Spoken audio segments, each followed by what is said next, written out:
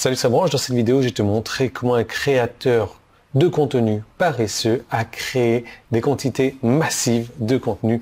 Et juste avant qu'on rentre dans le vif du sujet, tu t'abonnes à la chaîne YouTube si ce n'est pas encore fait et tu actives les notifications. Je te retrouve tout de suite juste après ça.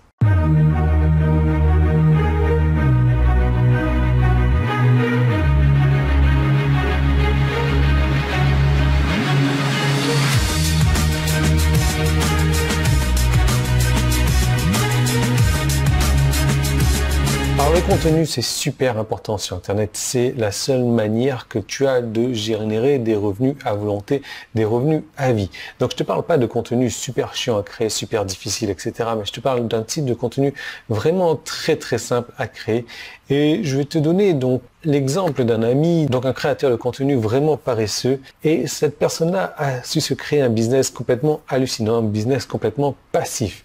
Et il y a plusieurs années, en fait, je faisais du business avec un gars qui était comme un robot de contenu, en fait, quand il était motivé à le faire. Par exemple, il a construit un business qui lui rapportait 70 000 euros par an.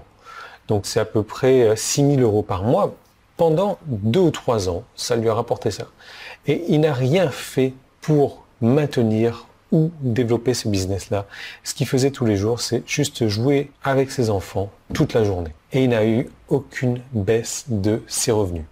Évidemment, bon, 6 000 euros par mois, c'est pas une fortune non plus, mais quand la journée de travail se limite juste à regarder son compte PayPal, je trouve que c'est pas mal. De son propre aveu, il aurait pu faire beaucoup plus. Il a bâti cette entreprise en fait en utilisant des techniques de référencement et de marketing complètement obsolètes. Il a dû créer environ euh, plus de 1000 articles sur une courte période de temps. L'idée, c'est que la partie référencement SEO et la partie marketing de cette histoire n'est pas vraiment pertinente. Ce qui est pertinent, c'est l'astuce de création de contenu qu'il a utilisé pour 1 créer déjà tout ce contenu très rapidement malgré le fait qu'il soit paresseux. De deux, créer un contenu qui a une valeur éternelle. Et de trois, ne pas être répétitif. Et cette dernière partie est vraiment la plus importante. Après tout, parce que même dans la niche de la perte de poids, c'était le marché où il était, il n'y a que certains conseils sur lesquels tu peux écrire et marteler comme ça plus de 1000 articles.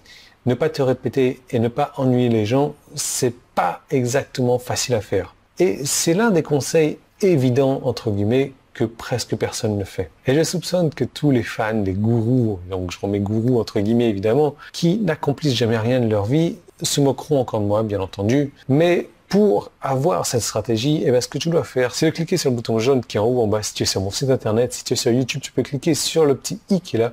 Et je te retrouve tout de suite dans une vidéo où je vais t'expliquer tout ça en détail et tu verras comment toi aussi, tu vas pouvoir faire comme mon pote peut-être, te créer un business de 70 000 euros par an et de passer tes journées à juste vérifier ton compte PayPal. Donc si ça t'intéresse, tu cliques et je te retrouve tout de suite de l'autre côté.